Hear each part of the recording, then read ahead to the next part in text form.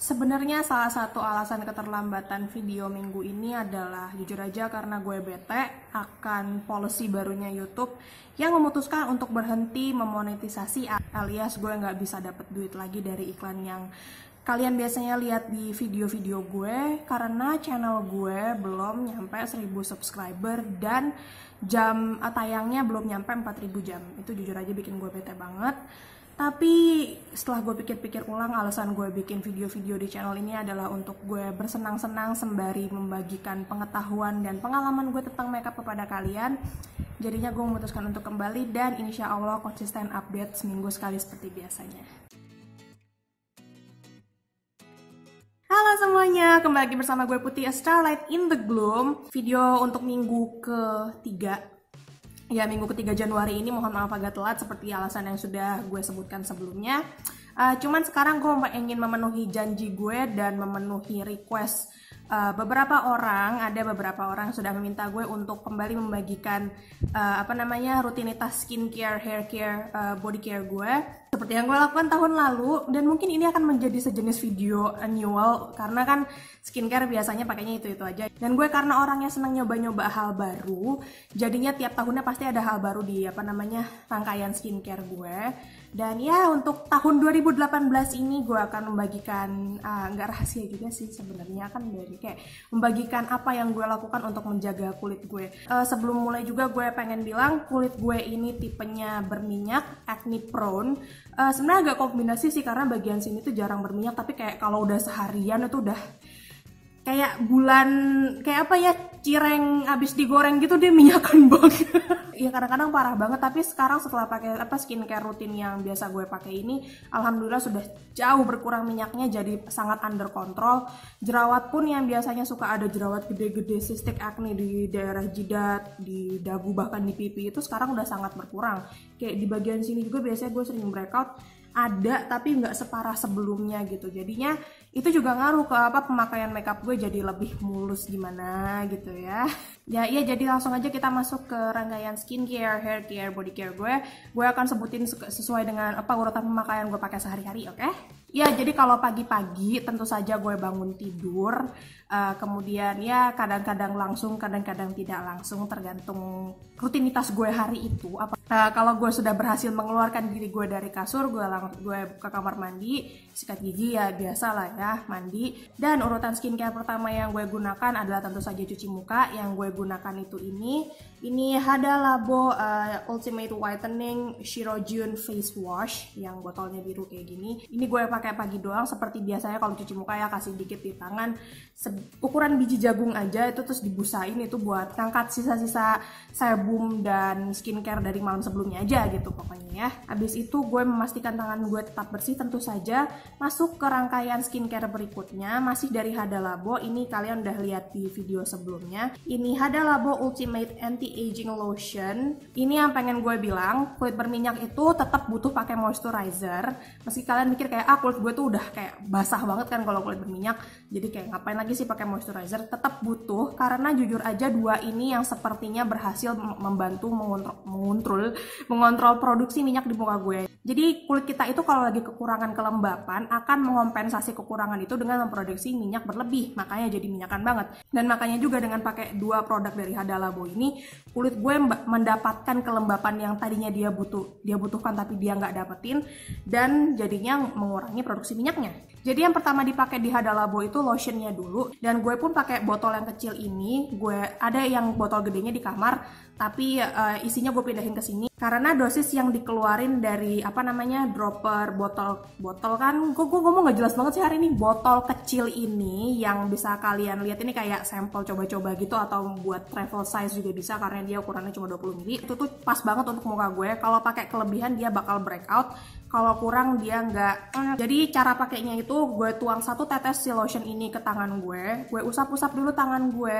Habis itu baru gue tepok-tepok ke muka gue. Tepok-tepok jangan kayak pak pak pak pak lo nabokin muka sendiri ya. Tapi kayak pelan-pelan gitu loh. Kalau udah habis itu gue berlanjut ke uh, Hada Labo Ultimate Anti Aging Milknya. Ini yang namanya itu gue baru sadar namanya Goku Goku Jun. Goku bukan Goku Goku Jun Alpha. Ini yang apa anti aging jadinya dia mengandung kolagen retinol derivate uh, sama improved uh, hyaluronic acid yang kulit gue sepertinya suka. Kalau emang hyaluronic acid kan emang udah cocok dari kemarin-kemarin ya. Cuman karena gue pengen ada sedikit tambahan kolagennya jadi gue pakai yang merah ini. Kalau kalian merasa cocok pakai yang putih yang putih hijau itu yang Goku Goku Jun atau yang biru yang kayak si cuci muka ini yang uh, Shiro Jun itu silakan. Atau ada orang yang cocoknya di mix and match juga juga sih silakan. Gue ingatkan juga skincare itu kan cocok-cocokan. Jadinya uh, apa yang gue cocok pakai mungkin tidak cocok di kalian dan sebaliknya apa yang cocok di kalian mungkin tidak cocok di gue gitu ya. Ada yang kulitnya alergi sama inilah sama itulah. Pokoknya cek-cek dulu apa yang mau kalian pakai apakah kulit kalian bakal bereaksi uh, buruk itu mendingan langsung di stop aja kalau kata gue. Kembali lagi untuk ke si apa namanya uh, eh, anti aging milknya ini cara pakainya sama kayak si lotionnya dituang setetes ke tangan diusap-usap di tangan kemudian baru ditepok-tepok ke seluruh bagian muka. Terus produk yang nyisa di bagian tutupnya itu gue ambil di jari manis gue kemudian gue pet-pet di bagian mata gue karena gue tidak pakai eye cream jadinya gue mengkompensasi dengan dosis kecil sekali sih apa uh, apa sih namanya Goku Goku Jun Alpha Milk ini. Tahap berikutnya ini wajib untuk dipakai untuk siapa saja yang tinggal di mana saja, mau di Indonesia, mungkin kalian lagi tinggal di luar negeri juga ini gue tetap pakai ya di tengah-tengah winter suhunya minus 10 derajat gue tetap hari tetap pakai apalagi kalian di Indonesia yang suhunya tiap hari tiap hari itu bisa 30 sampai 35 derajat kali ya. Mataharinya bersinar cerah. Ini harus banget pakai dan gue tahu banyak banget orang yang kayak males banget pakai padahal kulit kalian butuh ini anjir. Tentu saja sunblock atau sunscreen gel yang gue pakai ini kalian udah sering banget lihat. Skin Aqua UV Moisture Gel untuk normal to oily skin. Dia mengandung SPF 30 PA++, bisa buat face and body tapi gue untuk pakai untuk ini pakai buat di muka aja. Uh, eh, gue pernah baca untuk sunblock untuk muka dan leher itu uh, dosisnya itu seperempat sendok teh. Kalau kalian tahu apa namanya sendok ukur kecil-kecil yang untuk uh, masak tuh yang orang Amerika suka pakai. Kalau kita kan biasanya kalau bikin kue gitu pakai timbangan ya. Kalau Amerika kan lebih seneng pakai uh, volume. Yang ya pokoknya seperempat sendok teh itu kalau misalnya mau nyari kayak di toko bahan kue ada. Kalau mau bener-bener mau precise gitu ya. Atau di Lazada, toko Tokopedia dan sejenisnya gitu pasti ada. Kalau gue dikira-kira aja, gue tuangin ke telapak tangan gue dan sekali lagi ditatain di seluruh tangan baru gue pet-pet ke seluruh bagian muka dan juga leher jangan lupain leher. Itu dia rangkaian skincare gue untuk pagi. Habis itu gue makeup seperti biasa pasang mug this mug untuk hari ini. Uh, kalau kalian mau lihat uh, kira-kira makeup rutin gue tiap hari bisa lihat video get ready with me gue waktu di lombok. Gue akan link di atas di sini di sini entahlah untuk hair care-nya, gue tidak pernah keramas sembari mandi pagi karena gue tipe orang bukan gue bukan orang pagi ya, gue nggak suka pagi-pagi tuh harus gimana kayak harus ribet gitu. Karena kalau keramas pagi berarti harus apa ngeringin pakai hair dryer, bla bla bla bla. Gue terlalu males untuk itu. Jadinya kalau misalnya rambut gue lagi agak lepek kayak sekarang ini, yang gue lakukan adalah menggunakan tentu saja dry shampoo yang gue gunakan sekarang ini masih sisa dari Prancis kemarin ya. Ini Evoluder uh, Purifying Dry Shampoo. Uh, ini jujur aja biasa aja, tidak tidak terlalu bisa kalian lihat nggak terlalu ngasih volume. Uh, tapi harganya murah, jadi gue beli ini terakhir kemarin. Kalau kalian bisa uh, yang standar itu Batis punya ya Uh, atau kalau misalnya nemu di Tokopedia yang lain merek lain yang kira-kira lebih murah dan reviewnya bagus juga silahkan. Gue masih mau nyari karena ini dikit lagi udah mau habis gue harus nyari yang baru juga. Uh, jadi apa yang gue lakukan dengan si dry shampoo ini? Uh, gue semprotkan ke akar rambut gue ke bagian akar rambut gue seluruh kepala gue terutama di apa namanya bagian crown apa ya puncak kepala ini deh yang kelihatan banget kalau lepek. Itu gue semprotin kira-kira merata di seluruh kepala habis itu gue acak-acak rambut gue kayak tangan gue masuk langsung ke daerah akar rambut itu terus gue acak-acak.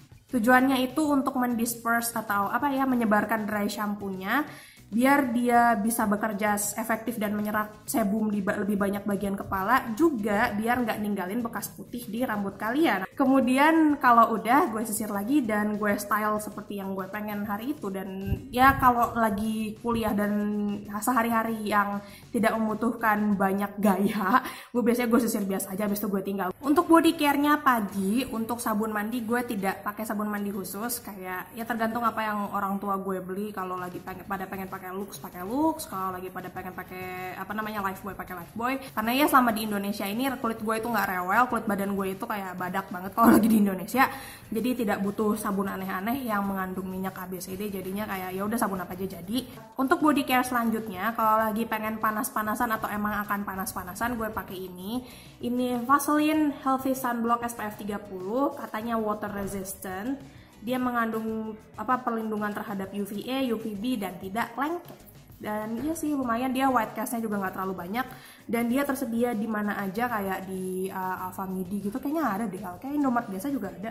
Satu lagi produk body care yang selalu ada di tas gue siap sedia itu ini. Ini Victoria hand cream. Ini yang uh, mengandung pomegranate. Uh, katanya ini anti aging hand cream for dry hands. Dia katanya mengandung mengandung shea butter sama UV filter juga jadinya lebih apa optimal kalau dipakai buat pakai apa buat keluar-keluar gitu ya. Itu aja untuk day skin, hair, body care-nya. Kita langsung lanjut ke rutinitas malam gue. Jadi ya satu hal yang pasti mau apa pun jenis kulit kalian, apa pun makeup rutin kalian, jangan pernah pakai makeup untuk tidur kayak makeup jangan pernah dibawa tidur ya jadi sebelum tidur tuh harus bersihin muka secapek apa pun kalian semabok apa pun kalian. Pokoknya harus dibersihin karena bukan apa-apa makeup yang udah nempel berjam-jam ini bisa menyumbat pori-pori kita dan nyebabin jerawat. Pokoknya nggak bagus deh buat kulit. Jadi kulit kita juga nggak bisa napas jadinya makin cepat penuaan dini segala macam eh pokoknya jangan. Produk yang gue gunakan untuk mengangkat makeup dari muka gue ini cukup satu produk karena gue males. Ini Hada Labo Ultimate Moisturizing Cleansing Oil ini seri yang Goku Jun juga. Uh, dia ini cara pakainya cukup dituang ke tangan secukupnya. Karena gue baru kayak beberapa minggu pakai ini, jadi gue belum tahu ya dosis yang pas untuk sekali pakai itu berapa jadi kayak gue masih menerka-nerka. Dan dia kekurangannya nggak ada pumpnya jadi kita nggak bisa ngatur satu pump dua pump jadi kayak dituang kira-kira aja gitu tiap kali mau pakai. Itu terus sama kayak pakai produk Hadalabo lainnya diratain di tangan dan diusap ke muka. Terus bagian-bagian muka yang banyak konsentrasi make upnya kayak alis mata dan bibir itu dikasih konsentrasi khusus. Jadi kayak diusap-usap di bagian alisnya terus diusap-usap di bagian matanya. Untuk di bagian mata ini tolong pelan-pelan. Kalau untuk maskara ya, itu di bagian lash line-nya gue gue tahan si, si jari gue, kemudian gue usap pelan-pelan ke bawah terus sampai kira-kira nggak ada sisa maskara di bulu mata gue. Untuk sisa-sisa lipstick juga bahkan liquid lipstick paling bandel pun kalau pakai cleansing oil itu bisa cepet luruh gitu ya. Kalau udah ada orang yang suka membilas cleansing oil ini dengan air saja, kalau gue kulit gue butuh perhatian lebih, jadinya gue punya handuk microfiber. Jadi apa yang gue lakukan dengan si handuk microfiber ini, gue basahin si handuknya semuanya, terus gue balik ke bagian yang apa bristlenya kecil-kecil, terus baru gue pelan-pelan gue usap ke muka gue jadi mengangkat sisa-sisa makeup sekalian si cleansing oil yang tadi ya kalau kayak gini dibandingin dengan ngebilas pakai air doang tuh jadi jauh lebih bersih dan jadinya nggak ada banyak sisa makeup yang tinggal di muka kalian untuk nanti diangkat sama cuci, sabun cuci muka gitu ya. Jadi habis selesai ngebersihin makeup gue biasanya mandi. Gue keramas dua hari sekali ya. Jadi kayak hari ini gue keramas besoknya enggak. Lusa baru keramas lagi. Kalau misalnya ini lagi hari keramas sampo yang gue pakai itu ini sampo murah meriah dari Emeron. Ini yang volume control mengandung pomegranate yang emang untuk perawatan rambut rambut rambut apa itu rambut rambut lepek. Gue jujur aja karena rambut gue sangat lepek gini gue lagi mencoba metode di mana gue cuma mengkondisioner rambut gue seminggu sekali ada yang bilang itu ngebantu uh, buat gue gue belum tahu gue baru kayak ngeskip dua kali keramas nggak pakai conditioner jadinya masih harus lihat kira-kira minggu depan. Nah pas conditioning gue pakai ini ini gede banget dan murah jatuhnya makanya. Ini dari Macarizo dari line yang Salon Daily. Salon Daily ini professional conditioner mengandung mineral oil untuk segala jenis rambut for all hair type. Gue pakaiin si conditioner itu di bagian ujung-ujungnya ini aja uh, emang kalau pakai conditioner jangan sampai kena kulit kepala kalian ya karena itu salah satu yang nyebabin ketombe banyak orang yang masih belum tahu ini loh ya ampun. Dan emang yang butuh di nutrisi biasanya kan bagian bawah-bawah ini aja kan kalau emang rambutnya kayak gue gitu. Kalau yang rambutnya kering regimennya beda lagi ya. Kalau yang rambutnya keriting juga regimennya beda lagi. Silahkan cek uh, video youtuber-youtuber lain yang emang tipe rambutnya sama dengan kalian. Kalau rambut gue kan lurus tipis dan ya nggak jelas bentuknya kayak gini. Salah satu tip lagi untuk mencegah nih atau jerawat di punggung kalian, biasanya gue menyelesaikan semua rangkaian perawatan rambut gue dulu, kayak gue keramas dulu, gue pakai conditioner dulu. Kemudian kalau habis pakai conditioner, rambut gue gue flip ke depan, jadi kayak sadako gitu. Habis itu gue bilas dengan kayak tetap kayak gitu, baru gue sabunan terakhir. Tujuannya bukan apa-apa, biar nggak ada sisa-sisa dari sampo conditioner segala macam itu yang bertahan di punggung kalian dan akhirnya bakal menyebabkan jerawat. Terus habis selesai keramas baru gue cuci muka yang gue pakai itu ini ini Hada Labo Tamago Hada Mild Peeling Makeup Remover sekalian face wash. Untuk si cuci muka yang malam ini, gue tidak mencuci seperti biasanya aja yang kayak cuma ditaruh di tangan, diusap-usap di muka dan bla bla bla. Karena menurut gue itu kurang. Jadi sepanjang tahun 2017 kemarin, gue mengaplikasikan si apa namanya Hada Labo Tamago Hada Mild Peeling face wash ini pakai Sephora exfoliating disc kalian bisa lihat barangnya itu di video gue sebelum ini video favorit 2017 sorry. Itu kalian bisa lihat di situ. Jadi apa yang gue lakukan adalah gue aplikasikan si cuci mukanya di muka gue seperti biasa. Abis itu gue pakai si apa face exfoliating disknya itu untuk gue usap-usap di muka gue. Tujuannya itu untuk mengangkat sisa-sisa makeup. Sekalian sel kulit mati. Ya pokoknya untuk membersihkan lebih dalam kulit gue jadinya nggak nggak gampang jerawatan. Uh, tapi karena seperti yang gue bilang di video sebelumnya juga si face disk ini kayaknya udah harus diganti karena udah setahun tugas dan kebetulan nyokap gue membelikan gadget ini. Ini dari New Skin, namanya Agelock Lumispa. Jadi dia kalau misalnya kalian tahu Clarisonic, dia sejenis Clarisonic gitu. Cuman bedanya dia brushnya itu bukan brush ya, bukan sikat, tapi dia kayak dari silikon. Jadi bahannya sama sama si Sephora Exfoliating Disc itu. Uh, dia ini bukan produk murah. Ini produk paling mahal yang ada di rangkaian skincare dan hair care dan body care gue. Belak-belakan aja harganya 5 juta rupiah. Tapi karena nyokap sangat concern melihat muka gue yang sekarang jerawatan gila-gilaan padahal dulu zaman SMP SMA nggak pernah kayak gini jadi nyokap bilang ya udah Mupi beliin tapi yang penting kalau pakai apa? Muka kamu kinclong lagi. Kayak oke okay, I'll take it tentu saja. Apa sih ya? Kalau gratisan siapa sih yang nggak mau ya? Ini jadi untuk apa sikatnya atau kepalanya ini ada dua jenis. Ini yang normal yang gue pakai. Satu lagi ada yang firm. Uh, sebenarnya yang firm itu lebih cocok dipakai sama kulit berminyak alias kulit gue. Cuman karena kemarin baru awal nyoba jadi gue pakai yang normal dulu uh, si headnya ini harus diganti tiap bul 3 bulan sekali. Sebenarnya si Lumis Spa ini dilengkapi dengan cleanser dia sendiri, kayak activated bla bla bla gitu. Tapi karena gue takut malah makin breakout setelah pakai produk baru, gue memutuskan untuk pakai produk yang gue udah percaya aja. Gue taruh satu blob si Hada Labo Tamago Hada ini di apa brush headnya ini terus abis itu gue apa gue sebarkan di pipi gue di jidat di hidung di dagu. Abis itu gue ambil botol semprotan ini. Ini tuh isinya sebenarnya air galon biasa. Cuman kemarin gue kasih beberapa tetes kayak tiga tetesan gitu tea tree oil. Makanya gue kocok dulu sebelum dipakai. Abis itu gue semprot ke seluruh bagian muka gue. Baru deh gue nyalain si lumispanya ini terus gue pakai dari bawah kayak di dia kan udah muter ya jadinya kayak di geser pelan-pelan aja gitu dari bawah ke atas. Kalau udah selesai, gue bilas seperti biasa pakai air keran aja, nggak pakai air galon lagi. Ya, anjir, gila aja pakai air air galon apa ngebilas cuci muka doang. Nah terus baru gue pat-pat sampai kering muka gue pakai handuk khusus yang emang gue pakai cuma buat ngeringin muka doang. Gue biasanya seminggu sekali itu pakai masker lumpur, mud mask.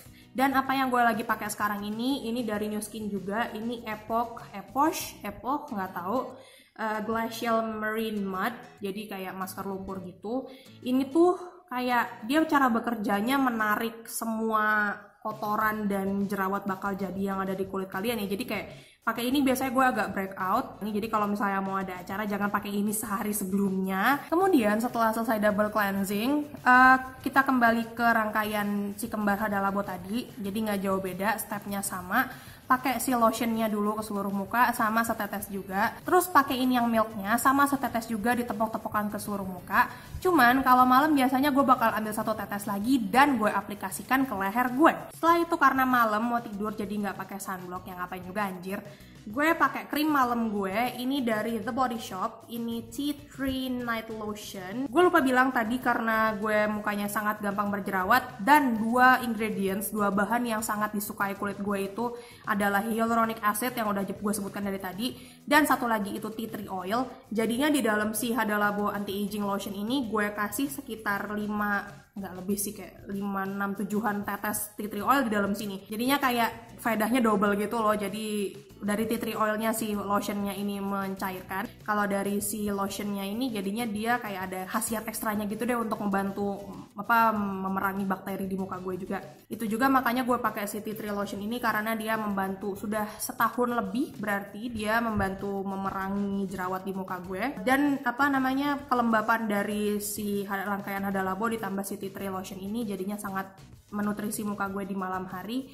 Jadinya gue bangun dengan wajah yang segar dan bersih dan terawat gitu ya. Untuk mukanya sampai di situ aja untuk malam. Untuk bibir gue pakai lip balm cuma kalau mau tidur. Karena gue nggak suka kalau pakai lip balm di bawah lipstick jadi kayak kayak geser-geser banget gitu loh. Yang gue pakai itu masih ini, ini Oriflame Tender Care, ini yang Rose Protecting Balm uh, temen gue ngasih 4 biji dan ini pot terakhir. Ini uh, bibir sekering apa pun paginya langsung jadi cakep banget. Karena ini kecil dia suka nyelip ke mana-mana dan gue sering kayak ngelemparin ini ke kasur. Uh, gue juga kadang-kadang suka pakai ini Vaseline Petroleum Jelly ya kalian tahu. Ini udah ada di Alfamart segala macam sekarang. Untuk hair care-nya sebelum tidur gue nggak pernah macem-macem. Untuk body care-nya kalau lagi kulit gue kering banget atau misalnya abis cukuran dan uh, habis ukuran kaki gitu ya dan kerasa kaki gue kering gue pakai ini. Ini masih sisa dari Prancis kemarin. Ini dari Isiongs uh, dry oil kayak minyak kering gitu. Dia mengandung ekstrak uh, shea butter sama argan oil minyak argan jadinya ya. Gue pakai ini aja apa yang ada aja sih kayak ngabisin juga sekalian. Produk terakhir yang gue pakai sebelum tidur itu krim tangan. Gue ini punya problem sepertinya diam-diam mengoleksi mengoleksi dulu lip balm sekarang krim tangan dan sekarang jadi banyak dan gue kayak bingung pakai yang mana dulu. Gue punya tiga krim tangan yang suka gue gilir pakai sebelum tidur. Yang pertama itu yang gue sebutin di video favorit 2017 itu punya uh, L'Occitane gue lupa ngambil dan gue malas ngambil ke kamar lagi. Itu punya L'Occitane yang Arlesian. Itu yang bener-bener tangan gue lagi kering gue pasti pakai itu. Jadinya tangan gue eh lembut banget kalau lagi biasa aja dan emang lagi pengen agak ngerawat kuku, gue pakai ini nih yang murah meriah dari Viva, harganya kayak cuma 8000. Nih hand and nail cream yang mengandung ekstrak melon. Diperkaya dengan vitamin F dan allantoin, gue nggak tahu dua itu apa. Cuman kalau gue lagi pengen pakai yang lebih wangi, gue pakai ini. Ini kayak uh, kosmetik handmade gitu yang gue beli pas gue di Lombok kemarin. Namanya Tropic Tropicalola, ya Tropicalola. Ini yang hand cream yang jenis Merese Hill. Pokoknya dia nama-namanya sesuai sama lokasi-lokasi turistik di Lombok itu ya ya. Ya Merese Hill ini dia yang wangi uh, green tea sama jasmine, green tea sama melati. Jadinya gue suka banget. Dan emang wangi melatinya agak kenceng sih kalau kalian tipe orang yang ketakutan dengan wangi melati kayak ya ada orang-orang kayak gitu gue tahu uh, bisa ngambil yang lain. Dia ada tiga varian. Ada yang pink ada yang oranye yang pink itu pink beach yang oranye gue lupa namanya apa ada di dalam tapi ya males ngambilnya dan ya itu dia rangkaian perawatan muka rambut dan badan gue. Banyak banget produknya yang murah meriah dan tersedia di mana aja jadi ya gue harap ini cukup membantu buat kalian. Sekali lagi gue ingatkan apa yang bekerja untuk gue mungkin tidak bekerja untuk kalian dan apa yang bekerja untuk kalian tidak bekerja untuk gue. Selain dari produk-produk yang gue pakai jangan lupa juga untuk menjaga kebersihan yang lain kayak tangan kalian sebelum mengaplikasikan produk terus alat-alat makeup kalian termasuk alat-alat yang kalian pakai untuk mengaplikasikan skincare kalian. Untuk uh, kebersihan lainnya yang harus dijaga juga salah satunya adalah spray dan sarung bantal kalian dan sarung guling itu kalau misalnya kalian benar-benar sensitif kulitnya seminggu sekali itu harus diganti dicuci bersih. Dan jangan apa ya pakai baju kalian yang udah kalian pakai dari mana-mana untuk dipakai naik ke kasur. Karena kotorannya bakal pindah dan bakal bikin kalian breakout. Jaga juga diet kalian perhatiin juga makanan kalian. Dan mungkin kalau kalian ngerokok minum gitu minum alkohol itu juga diperhatiin apa yang kalian kulit kalian nggak suka. Air putih juga jangan lupa minum air putih yang banyak. Gue bukan orang yang punya skincare yang sempurna banget. Kulit gue masih suka breakout kadang-kadang tapi ya ini dia yang gue tunjukkan produk-produk dan cara-cara yang gue gunakan untuk seenggaknya menjaga si jerawat dan minyaknya ini seminimal mungkin gitu ya. Ya kira-kira segitu aja sih untuk video skin, hair, and body care tahun 2018 ini.